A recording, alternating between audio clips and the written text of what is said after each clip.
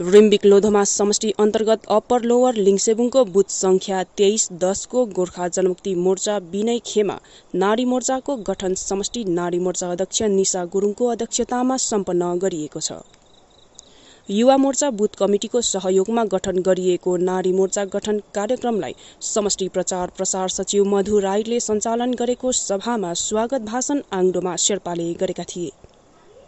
कार्यक्रममा रिम्बिक लोधोमा समष्टि गोर्खा जनमुक्ति नारी मोर्चा विनय खेमा अध्यक्ष निशा गुरूङ उपाध्यक्ष अङ्मित लेप्चा प्रचार प्रसार सचिव मधु राई कोषाध्यक्ष विद्या शेर्पा महकुमा समिति सदस्य ललिता मोक्तान अञ्जली शर्मा समष्टि नारी मोर्चा सदस्य ममता छेत्री प्यारेन्ट बडी सदस्य हरिप्रसाद शर्मा साथै तेइस दश बुथका युवा प्रतिनिधिहरू अनि नारीहरूको व्यापक रूपमा उपस्थिति रहेको थियो।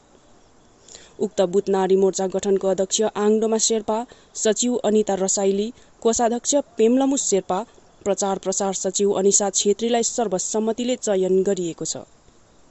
कार्यक्रम पश्चात रेम्बिक लोधमा समष्टि गोर्खा जनमुक्ति मोर्चा विनय खेमा नारी मोर्चा अध्यक्ष निशा गुरूङले एक पत्रकार सम्मेलन मार्फत नारी मोर्चा बुथ कमिटी गठन सँगसँगै चुनावी प्रचार प्रसार पनि गराउँदै यसपालिको विधानसभा चुनावमा गोर्खा जनमुक्ति मोर्चा विनय खेमालाई जिताउने प्रतिबद्धता जाहेर पनि गरेकी छन्। रिम्बिक कदमा समष्टि अन्तर्गत बुथ नम्बर तेइस दसको नारी मोर्चा बुथ कमिटी आज गठन गरियो भालुकीमा। र यहाँ चारवटा प्रशाखाहरूलाई लिएर चाहिँ बुथ कमिटी नारी मोर्चा बुथ कमिटी गठन गरियो।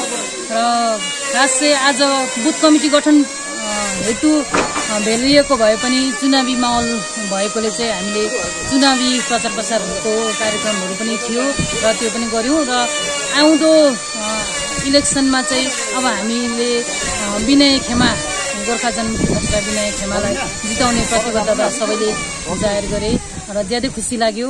आजको एकदमै राम्रो सफल भयो। यो बुथ कमिटी चाहिँ अब सफल भयो भनौँ न। अब उहाँहरूले चाहिँ खट खट्छौँ हामी र केही गर्छौँ र अब चाहिँ आँखा चिम गरेर नगरेर चाहिँ हामीले चाहिँ अब कसलाई भोट हाल्नुपर्ने हो? र विनय खेमाले के गर्नुभएको छ भनेर चाहिँ नोर्देन सरले यहाँ समष्टिमा के गर्नुभएको छ? स्पेसली समष्टिको कुरा गर्नु भने के गर्नुभएको छ? त्यो सम्पूर्ण जानकारी हामीलाई भन्दा पनि उहाँहरूलाई ज्यादै थियो र पनि हामीले पनि कति कुराहरू उहाँहरू समक्ष राख्यौँ र उहाँहरूले चाहिँ अब आउँदो चुनावमा चाहिँ विपुल मतले चाहिँ हाम्रो बुथबाट चाहिँ विनय खेमालाई जिताउने चाहिँ प्रतिबद्धता नारी मोर्चाबाट चाहिँ गर्नुभयो।